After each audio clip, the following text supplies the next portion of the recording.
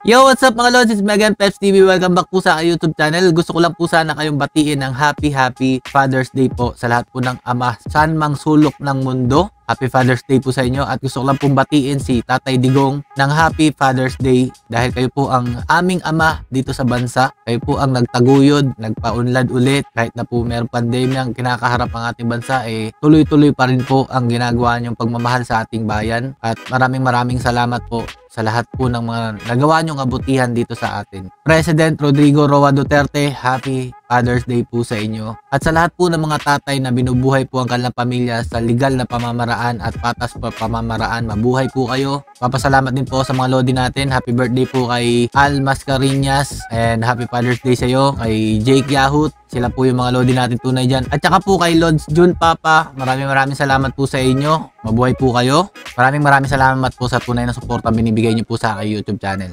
At kung gusto niyo po uh, umorder po ng Lipogen 20-in-1 coffee mix mga lods, nandyan po sa aking description ang links saan po kayo pwedeng uh, umorder. Pwede rin po kayo mag-distribute nito. Maganda pong pang negosyo at nakakatulong pa po sa inyong uh, katawan mga lods. At Happy Father's Day po kay JR Lumbatan. Sila po ang nagdi-distribute nitong Lipogen. Free shipping nationwide po ito mga lods. Ulitin ko, Happy Father's Day po sa lahat po ng mga ama. Mabuhay po kayo. Tatay Digong, maraming maraming salamat po sa inyong ginawa sa ating bansa, sa mga OFW natin, mga lodi. Sana po pagpalain pa po kayo ng Diyos Ama.